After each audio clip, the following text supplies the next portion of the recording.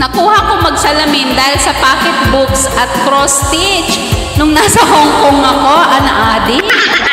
Na-addict ang uh, Manang Ermelinda sa pocketbook.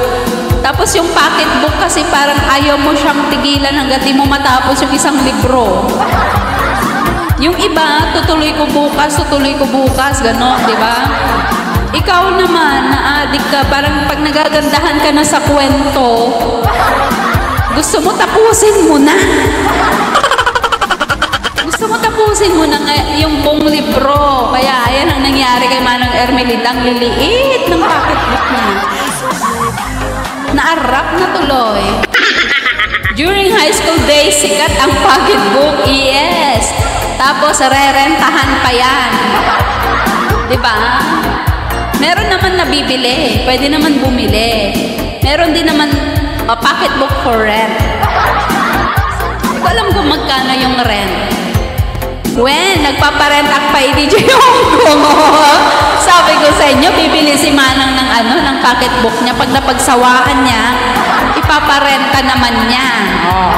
Pero ngayon, hindi na kasi may Facebook na, may YouTube na, may uh, TikTok na. Pagkakabalahan. Tama ba Manang? Kasi dati walang ibang pagkabalahan eh. Ngayon, video-video na lang. Selfie-selfie na lang. YouTube-YouTube na lang. Ah, di ba? Ngayon, ang dami na. dami na magagawa ng mga cellphone natin. Wattpad na uso, sabi naman ni Joe Acopiado. Sa akin, bumibili din ako tapos nakikipagpalitan sa mga pinsan. O, swap! Nagsaswap naman ng pocketbook itong si Prince G. Siyempre, nabasa mo na minsan, ayaw mo nang ulitin. Di ba? Totoo? Gusto niyo bang ulit-ulitin yung nabasa niyong kwento? Hindi na.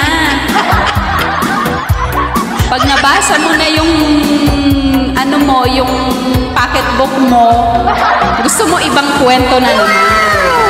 Parang jowa din yan. Di ba? Di ba yun? Ah, bini niya.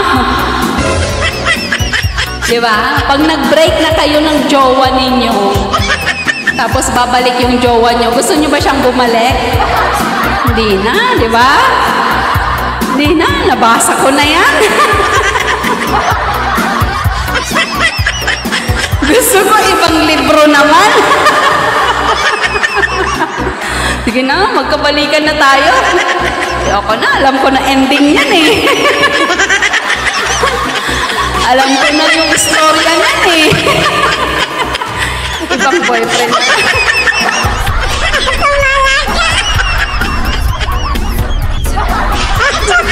Totoo, hindi. Totoo kaya? oh, my point. My sense.